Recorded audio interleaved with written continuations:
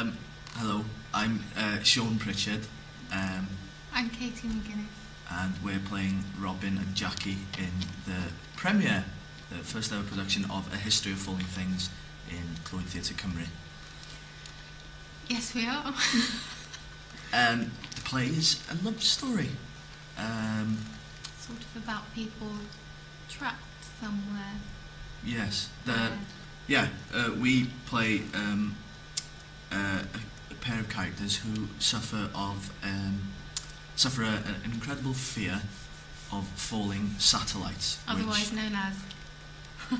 Keraunothnetophobia. First time. I can say it as well. Go on then. No. Joking.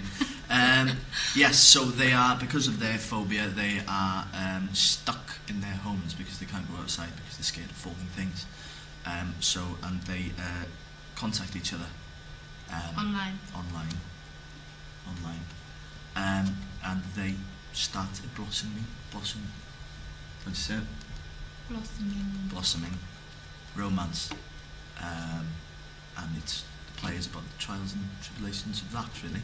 And uh, we're in the Emlyn Williams Theatre in Yeah. Clwyd Theatre Cymru uh, from April the 23rd to the 9th of May.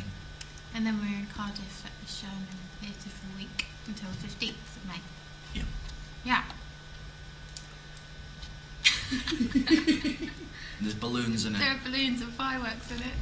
lots of pretty things to come and see, and it's really fun. It's quite funny as well. Yeah. And It's very funny and, sweet. and a bit mm. sad. And yeah, we see whether they'll get together or not Yeah.